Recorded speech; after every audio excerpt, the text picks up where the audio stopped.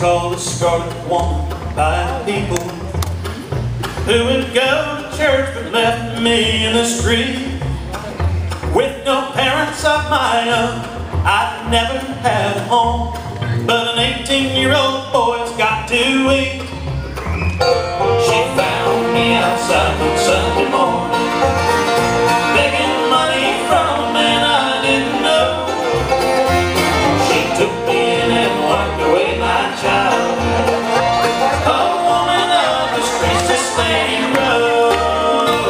She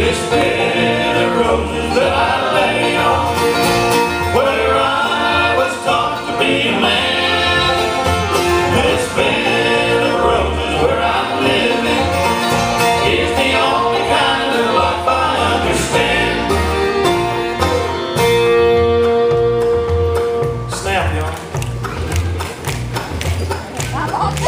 a handsome woman, just 35, who was spoken to in town by very few.